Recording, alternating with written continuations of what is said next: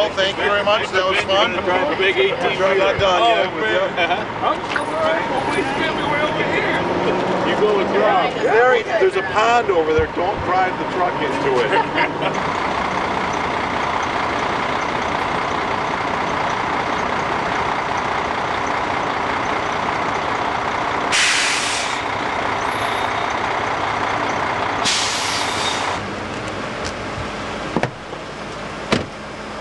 So the line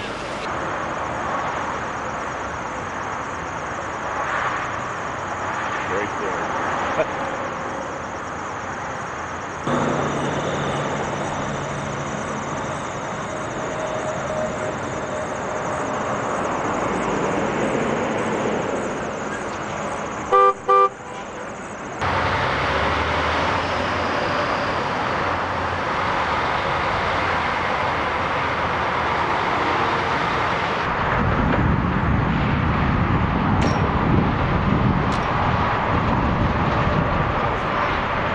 And I have gone back to school. Maybe not like the old Rodney Dangerfield No. movie. We're not having all sorts of parties and stuff, but we are learning about, uh, well, kind of the auto program that they have down here at Fox Valley Technical College in terms of uh, the, the semis, the over-the-road driving, things of that nature. They have a truck driving, diesel equipment mechanic, exploring auto collision and refinishing careers and exploring automotive careers in general.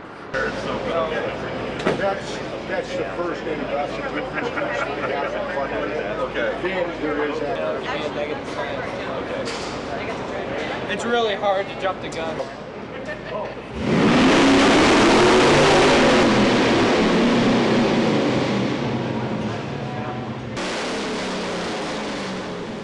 We're at Fox Valley Technical College down in Appleton. Mike Norder here from Schneider's with me.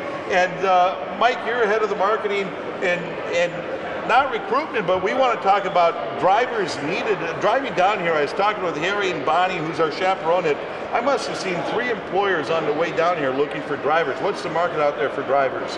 Uh, absolutely. I, I drove down from Green Bay as well, and I had to listen to Bill on the drive down, which was unfortunate.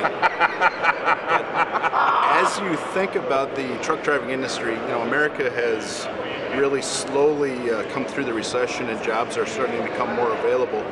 One of the sectors that is growing incredibly is truck driving. Uh, depending on what industry analyst you talk to today, there's anywhere from a 25,000 to 100,000 nationwide driver shortage. So there are plentiful jobs available as truck drivers, especially here in northeastern Wisconsin.